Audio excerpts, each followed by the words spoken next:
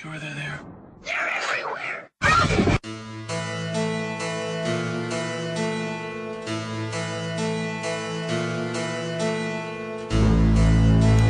All right, well, so yeah, it's Halloween season, but you know, ghosts are not particular about Halloween. It's all the time.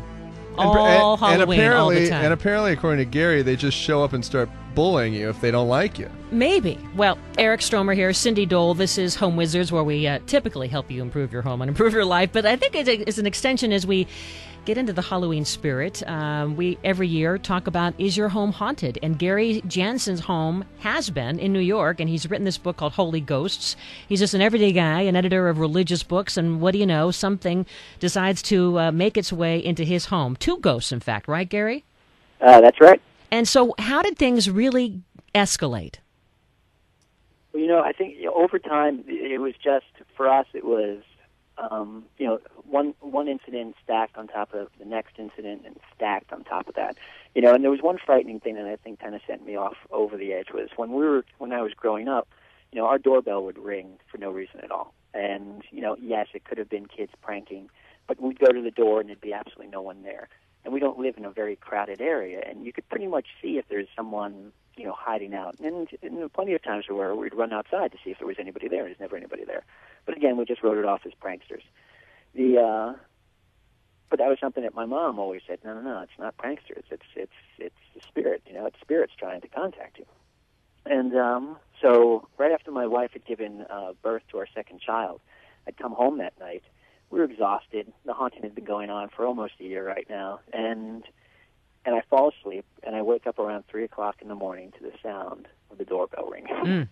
and uh, and I am again huge coward and paralyzed with like fear, like no, no, I I didn't hear that, um, I was dreaming. And then I said, you know what, I'm just going to wait there, and uh, if it rings again, I'll check it. But that was just my imagination. I'm just freaking myself out. And then I waited like one Mississippi, two Mississippi. It was like waiting. You know how you count like you hear thunder and or, or see lightning and, Yeah. and and then listen to thunder. And like on the third Mississippi, ding dong, and the freaking doorbell rang again. And I just remember thinking, I've had enough of this. Ran downstairs, you know, and threw open the door, and there was no one there. And one of the creepiest things for me, and it, and it still is, is just the sound of a doorbell ringing in the middle of the night. And that freaked me out. I ran outside. There was nobody there. And could it have been prankster? It could have been. But the coincidence of it happening on the night my son was born, when I was home alone, you know, and and it, and it being something that that scared the wits out of me when I was a kid, just made me, you know, that's when I actually reached out to Mary Ann Winkowski and said, you know what, I, I need help here. And she's the gal that helped with the ghost whisperer, you're saying. Exactly. So, what was the final thing that really the the culmination when it really all came together? What was the the, the thing that happened? Well, you know, the thing was that it, it went on for a little while. I, I mean, pretty much, I have to say that was probably the most frightening point. And then it got really, it went from being frightening to be really interesting because the information that Mary Ann gave me about who the spirits were, well, I needed to go out and investigate. So I did some investigating. Actually, went to the cemeteries where these, you know, ghosts possibly lived, and so many things started linking up just about you know, where these people had passed away. Um, still, there's still a couple questions about exactly where the older uh, the woman lived, um, but it seems to see that she lived, you know, pretty nearby, and and and so these things you could, of course, I could be reading into it, but what was really interesting was was exploring these people's lives and and and and tracking down. It became this big mystery of, of trying to figure out, you know, is it this person, and why is this one spirit so angry with me? And so the book does talk about the power of language, and you know, we say flippant things all the time. At least I do. Um, but can you actually, you know, can you can you end up en- accidentally cursing someone, you know, just from like being angry uh, or, or or just running off at the mouth? Can those words, the, these negative words, actually have, I don't know, a, a power to either hold spirits back or or to bring down misfortune on others. So the book really goes into kind of the history of curses, and and and it could it be that every time that we yell at someone who cuts us off on the on the freeway or the parkway, could we be inadvertently sending them a minor curse? Uh, you know, and the ancients used to believe that. They believed in the power of language to be able to hold spirits here or to let spirits go away, and and um, and that became a fascinating fascinating topic just to investigate and also to you know to see you know, to see what what would happen when I finally use language, you know, to try to get them to go over the other side. Well, Gary, let's get some input from a couple of guys who uh, who speak to the other side. I guess you could say AJ Barrera and Ramiro Ramirez. Uh, they're on the NBC show called From Beyond, and before they had the whole TV gig, I mean, for years you were both, I guess, doubters, but then you got into this because you have this sensitivity, right, AJ? Absolutely, I was a complete skeptic of this work. Uh, my whole process was debunk psychics mediums, the paranormal. When I saw certain individuals on TV shows and stuff like that that were, you know, giving readings to people in the audience, and I got thought this is a bunch of BS. You know, they place people in the audience, they tell them what to say, what Uh-huh. to do, and so the more that I started researching this work, of going to local libraries or my public library, which is the New Age section, it was like only like five books that were there, really, to be quite honest. And the more I started researching and going onto the internet, the more that I realized that um, I have this ability to be intuitive, to be sensitive. So the more that I started debunking this more, the more that I realized that I was more going down the right path of finding direction with um, spirit. And R- Ramiro, you too? Yeah. That's right. As a Latino, I mean, we grew up with these stories, uh, La Llorona, El Cucuy, kind of similar to the Boogeyman. And we would constantly hear stories about my grandpa's, uh, my dad's grandpa's ranch being haunted.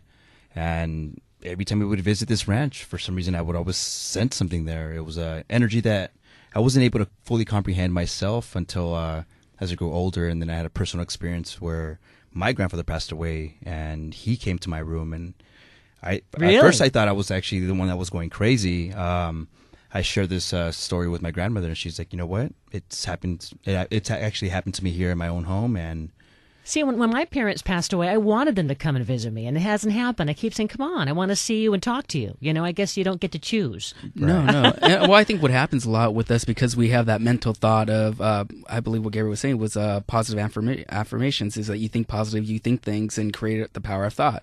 You kind of create these things sometimes that sometimes that you want it so bad, it puts out blockages out to the universe where you can't make that connection. So you want to make that connection with mom and dad or those loved ones, and you're wanting it so bad is that I think once you allow it, saying, you know, okay, whenever they come around, whenever they give me the message, it will come around. But I think the more that we want it, the more that it puts up that blockage of That's kind of like life, right? You want a job too much, you're not going to get it. Exactly. Yeah. did you guys did you guys sense all of these things that were within you from a very early age? Like, were you born with this, or did it evolve as you went through time? I, I really evolved the whole process with my work as a psychic medium. I never saw, felt, or hurt spirit. I, you know, was never like the kid in The Sixth Sense or Cole saw the dead people and things of that nature. And even now to this day, I really don't see dead people. It's almost um, images the way I see it. It's like a big movie being played in my head. So I'm clairsentience, uh, where I actually would feel the things as well. Clairvoyance, I would, would see it as big movie being played in my head. So my spiritual guides would pull out the information on my forever and tell me how to describe this or talk about this, and then I would actually hear things directly or indirectly of what they're trying to tell me. And then, So- and so, how can we remove the blocks from ourselves to get more in touch with this world if we want to, or how do you put them up? It sounds like by trying too hard, you block everything. Absolutely, and I think by daily meditation, by being open, uh, knowing your surroundings, where you're at every day, and um, making a thought or making that connection or making that acknowledgement to your loved ones. So if you're missing mom and dad, you're missing brother, sister, that loved one, just say hello to them each morning. The more that you bridge that connection, the more your vibrations builds up, and they lower down their vibration. Between that, there's that connection. Once you build that connection, it's going to be a common thing for you to start having the signs, the signals, the dreams, um, uh, visitations. You're going to have all these different ways to make your connection. But I think it's uh, it's definitely a, uh, an, a knowing to know your loved ones are around you. And I think by meditation, working with chakras, and and paying attention to those signs and signals like butterflies and birds, if, if people do get those. Now, know. what do you guys make of Gary Jansen? Because he's still on the phone, and and he, Gary, you we can uh, talk to you now if you can hear us. Okay, uh, Gary's stories you probably heard on the air in 2007 through 2008 was not a, a, a relative that he missed. Was you know these two people he had no relationship with, and was mm-hmm. kind of scary. What do you make of his ordeal? Well, I, I think it's you know divine connection in a sense how things come together, how the paranormal comes together, how we come together as an individual. Um, his story about the doorbell situation. I just actually had a client maybe about a month ago that had a similar situation where um, the doorbell kept on ringing, and when it was uh, I was talking, I believe your program director or your producer, and she was talking about a, door, a doorbell story. So I figured it was kind of parallel, and it was almost as a thought. She kept on waking up, she kept on hearing the doorbell, and she figured, you know, it's you know maybe it's electrical, maybe it's this, maybe that. So uh, during the reading, this came up. And I asked her, I go, I'm actually seeing a bell. And she goes, um, yeah, the doorbell used to go off and everything. I go, is there a connection to Bell? It's like someone named Bell. Didn't click to her. Her mom's named Bella. Oh. To- totally, very. It's very simple, very simple, and some people miss those signs, signs and signals. So I think it goes for all of us. You know. And you, Ramiro, what do you think about Da- uh, Gary's incident with these these ghosts in his house for about a year? Well, just a quick input on uh, the fact that he said, uh, you know, the foul language that's being used or whatnot.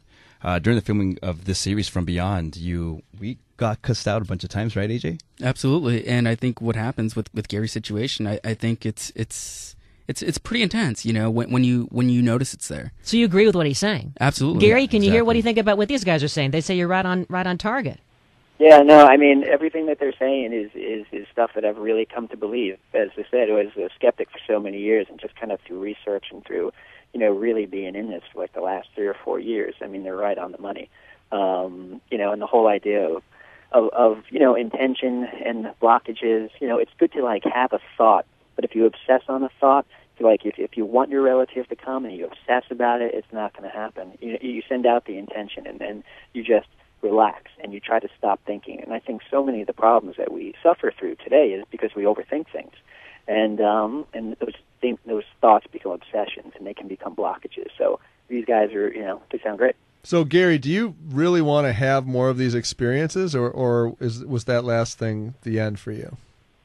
I mean, You know, are you trying to kinda done, cultivate uh, this? it for anything at home? Um, what I'm really interested in is really, you know, looking at you know looking at the paranormal and, and researching the history.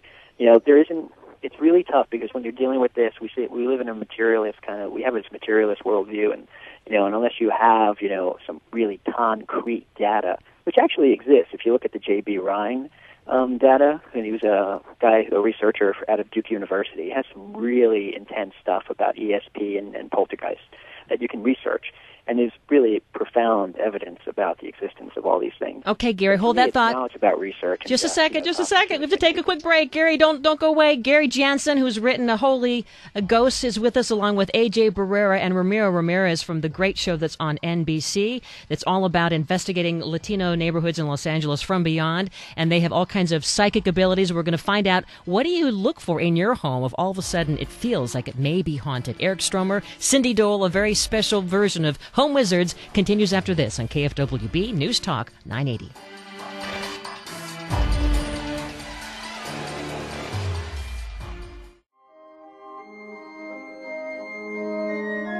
What were you saying when you were doing a construction job? They had the evil eye. Yeah, I was remodeling a, a house out in Thousand Oaks, and I demoed the ceiling. And up in the attic, someone had drawn an evil eye Ooh. and arrows pointing down to where you would stand in front of the sink. And, and it freaked out the homeowners because they were very religious, right? So Uh-huh. I, I, I really have not never ventured into this world, but I burned sage and I did what I thought would be appropriate to assuage their fears, and apparently it worked and everything's fine. But Mm-hmm. Good. that's scary to see something. Well, like they that. say that construction can bring out ghosts. Say Eric Stromer, Cindy Dole here, Home Wizards, where we love to help you improve your home and improve your life. And every year, we love to devote the whole two hours to the whole idea of maybe your home might be haunted. And Gary Jansen has been joining us. Uh, he's on the line from New York. Uh, his home was haunted, and he's written the book called Holy Ghosts. Also with us in studio, AJ Barrera and Ramiro Ramirez, who are psychic, medium, paranormal investigators, and on the show from Beyond on NBC. And and so Gary, uh, you are a Catholic, and AJ and Ramiro also are Catholic. In fact, AJ has a cross around his neck. And so part of the book that you've written, Gary, is the whole notion of how you were raised. You aren't supposed to believe in ghosts. Right. I mean, you know, I grew up in the 70s and 80s, and um, I went to Catholic school for 12 years, and we never talked about ghosts. And I think, you know, uh, part partly because you don't want to scare little kids, um, but you know, I, I felt like in some ways that I was gypped out of kind of spiritual teaching, kind of going to Catholic school. I learned my math, and I learned how to. I think, you know, ethically, like you know, you should live your life like this. But when it came to the spirit world, it wasn't something that they talked about. But there's a whole plethora of of of, of doctrine and theology about angels and demons not too much on ghosts, um, but I was able to find some stuff. So the, the church actually does believe in ghosts. They just don't talk about it all that much. Ab- absolutely, and I think the fact is that when you come from a healthy skepticism attitude, but also a healthy part of your religion, if you understand religion and spirituality, they blend beautifully together if you just understand them both. And I think the fact of growing up as well in a devout Catholic family, my mom, my dad went to the whole school with the yard uh, with um, schooling, Bible studies, and everything, and myself, you know, I came into this work like being a youth ministry and being involved with them and teaching kids about this work, but never talking about it. And when I really started um, opening about my work, people started fearing it. And I mm-hmm. think with me, I was very fortunate. As Gary, he wasn't fortunate to have that spiritual insight, and I was fortunate now because back what ten years ago, you know, it wasn't even that popular. Now, now it's all over the place, all radio shows, TV shows, and oh, everything. I know. So you know? when I go to bed tonight, in fact, I think when Eric is home alone tonight, you're, we're both going to sense this. I'm going to put the sheet over my head because I'm going to remember all that we talked about, and I'm going to somehow feel safe because I'm under a sheet. What is up with that? right? And a baseball bat. Does that help or no? I mean, I, Gary, do you still get afraid, or, or uh, do you reach the point where you know really there shouldn't be any fear? Gary or AJ, anybody yeah, here? yeah, for me, absolutely not. I, I don't fear the living. I don't. Actually, I don't fear the dead. I fear the living more so than anything else because the living. You can fear the four or five is what you fear. Yeah, exactly. 405 10 101. but, uh, you know, I, I think the biggest part with this work is that I think if you're personally grounded and know what this work is all about and protect yourself with prayer, meditation, white light, and, and, and know what, you, what you're getting yourself into. Because I think if you're messing with something and tampering with something that you don't know, then you attract this negative energy and you create this energy in your life as well. Like so the what, Ouija what, are- board is what are some what are some basic things we can do to protect ourselves in these situations and kind of get a better understanding? for for for me, and I'm going to speak my, with my personal opinion. I'm, I'm sure Ramon can share his. I, I think mine is just daily meditation, um, positive thinking, creating what you want in your life. But again, don't obsess on it. What Gary was mentioning as well. Um, if we just move in our life in an everyday basis and focus what we really want and what we want to create and making those connections with our loved ones, we're going to get those connections. But again, I'm a huge meditation and prayer individual. Um, doesn't I don't doesn't matter what kind of prayer. If it's you know Judaism, Buddhism, Christianity, as long as you make that connection, you're still making a connection with the higher source, with divine. But if you're all of a sudden alone, I mean, I Mm-hmm. don't know what it is about when you're alone. It's almost as scarier, right? As opposed to having a buddy. Yeah. right? You're all alone, and it seems to be scarier at night than the day. Like here we are, it's still daylight, and I'm not scared because I'm talking to you guys and I can see it. But if it were nighttime, I'd be afraid. But if you're afraid, there's something about that high anxiety, right? Your heart starts to pump faster, and you can have all the prayer and all the spirituality in the world, but in that moment, it's darn scary. So, Ramiro, do you ever get scared? I mean, you guys have checked out a lot of neighborhoods of LA and different homes. Have you ever been frightened? Not so much frightened that I'm I'm scared of what I do itself. It's just the unseen. You know, um, you don't know what these people practice in these homes. You know, whether they practice Wicca or witchcraft, whatever it is. Uh, we're walking in these homes cold turkey, not knowing anything about these people. Um, there are cases in where we do walk into a location. There's something that's definitely a negative energy, and uh, during the filming of this uh, series, From Beyond, one of us three cast members, we were at a hospital here in East LA, and one of us cast members got scratched, and we were able to document this with cameras, and it was pretty. Uh, it was a pretty intense moment. Yeah, and I think the fact is that when you're again when you're open to it, you can say all the prayer and everything that you can have, and things like that can happen because I think you're vulnerable to it, and when you're very vulnerable, your energy is lower than what it should be, uh, rather than raising your vibration to a higher level. So that connection, it's almost like your walls down, your barriers down, and it makes it easier for them to connect with those energies. And I think uh, same situation with those homeowners that you're mentioning, um, Eric, is that. Um, pe- people walk into this area with fear and i think sometimes when you fear it and, and if you believe that you're going to protect it you're going to sage it you're going to do everything you can then that fear's not there and you did the right thing so it helps that energy So move I forward I basically became a semi-professional ghost hunter. exactly you. I'll put that on my resume. Hey, we're going to get you a new t shirt. right now, you know, I, I will tell you, from going into so many people's homes for the last 25 years, being a general contractor, I feel energy that is unfavorable, and I think it's the the clients or the homeowners. It may be it may be that, or it may be the spirits that exist in that property. I, I don't know. I have never really analyzed it, but I do sense those things. So Mm-hmm. I mean, it clearly, from an instinctive level, it is there. There's something there. There's always sense. So, what there, are yeah. the telltale signs? Gary, before we let you go, you've lived it, you've had a haunted home. What would you say are five signs that, yes, you're not imagining things, your home is haunted?